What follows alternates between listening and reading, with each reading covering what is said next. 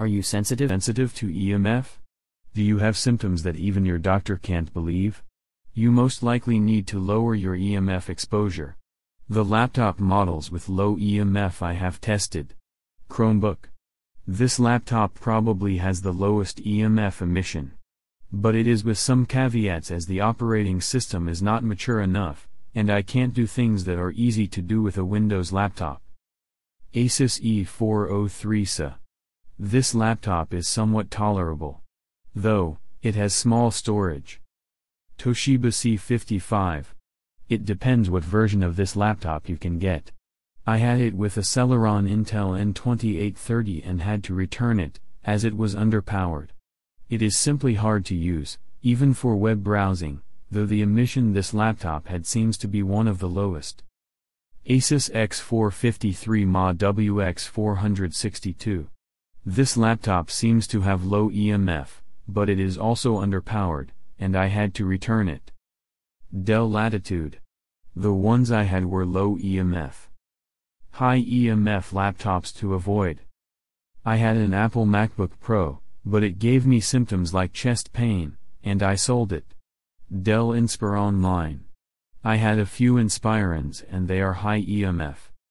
It seems that smaller laptops are lower EMF, and the further you stay from a laptop, the less EMF you get. Here is a way I found to, to test the laptop for EMF.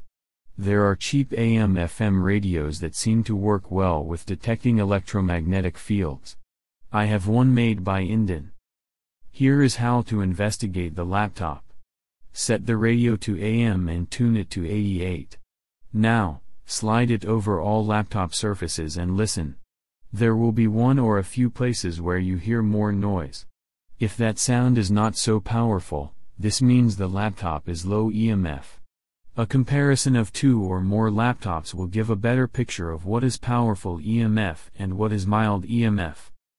Usually, the radio will have louder noise where the processor sits and next to the screen or next to the laptop logo. The other place where there is substantial EMF is the laptop power adapter.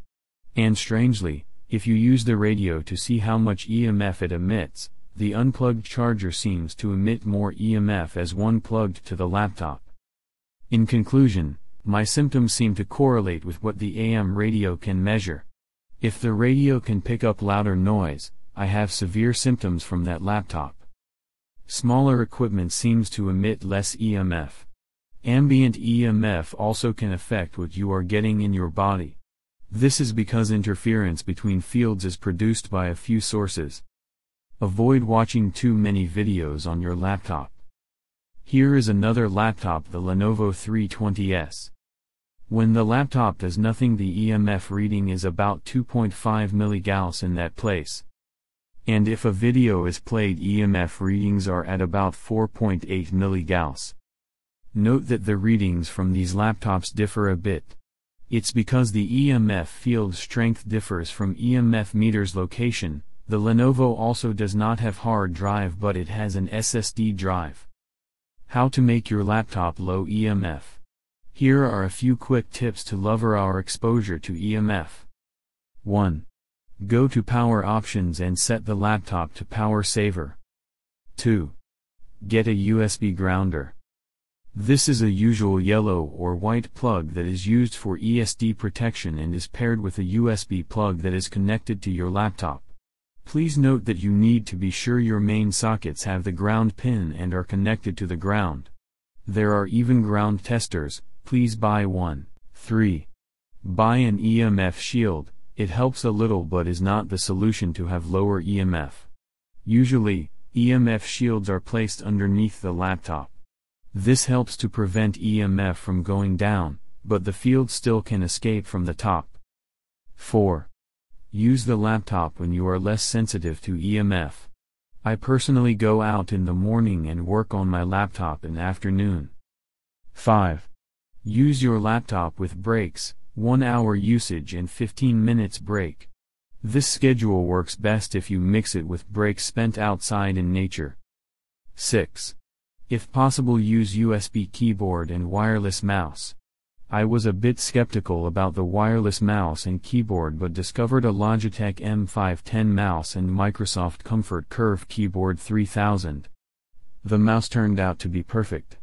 The precision of movement is very good and the two AA batteries last for months, yes, months. The mouse emits a bit of EMF, but only a very small amount compared to a laptop. The Microsoft keyboard also emits very low EMF. 7. Any EMF filter for laptop screens do not help that much. Just use the laptop from a distance. I tried a film filter that was supposed to shield EMF from the laptop screen, but with no success. 8. When you play a game or watch a video on your laptop, it emits up to 10 times more EMF. Keep this in mind and cut the laptop usage time down accordingly. 9. Your mobile phone also emits EMF, which can be even stronger than a laptop EMF. Consider using your mobile phone less and buy Samsung mobile phones, which have the lowest EMF. 10. Every electronic device emits EMF. Make sure you watch less TV if you want to cut EMF exposure. 11. Wireless internet devices have a strong EMF. Disable the wireless card in your laptop and use a Wi-Fi dongle that is connected with a 3 meters USB cable to your laptop. 12. Wireless internet routers emit a lot of EMF. Keep them as far from you as possible. 13. Do not use your laptop in your bedroom, and do not watch TV in your bedroom. 14. Fun fact, it is believed that cactus lower EMF fields. 15. You will feel less EMF in a bigger room. Also, you should avoid any computer classes where there are 20 or more desktop computers in one room. I do not use desktop computers at all as they emit an enormous amount of EMF. 16. The more software you have in your laptop the more EMF it emits. Consider uninstalling some software that is not used. Click Windows button, Settings, apps and look for apps that you do not use, uninstall them. 17. Go to the task manager and see what program uses the most resources. Uninstall any program you do not need. 18. Use your laptop on a battery. It seems that laptops emit more EMF when charging. 19. Use a Windows dark theme. It will also help you to avoid eye strain. 20. If you still feel that the laptop still has an unacceptably strong electromagnetic field, consider replacing your laptop with another laptop model. 21. You can monitor indirectly how much EMF your laptop emits. Press Ctrl plus Alt plus Del and go to Task Manager. If the processor is not fully loaded, your laptop emits lower EMF. 22.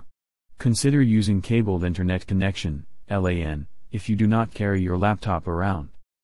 This will also eliminate the need of wireless router, you can just turn off wireless radio in your router and considerably cut down EMF radiation. 23. Remove the wireless card from your laptop. Even if it is disabled in Device Manager, the chances are the power still reaches it and still emits radio waves. 24. Use Night Light in Windows 10. It seems that this mode also has a bit lower EMF. 25. If possible use your laptop with a small monitor and keep your laptop in another room. There are smaller monitors, 15.4 inch and 17 inch. Also, you can test which monitor works best for you. There are newer monitors with LED backlight and older monitors with CCFL backlight. I have found out that those older monitors with CCFL backlight work best for me. 26. There are linear power supplies. They emit a much lower EMF compared with your traditional power adapter that is supplied with the laptop. If you want to use them there will be some DIY work involved, a cable needs to be made, and this cable needs to have your type laptop power plug on one end and exposed wires to connect to the linear power supply on another end. A power supply of 19 volts and 5 amperes would be sufficient. 27. I have tested a few anti-EMF stickers with little success.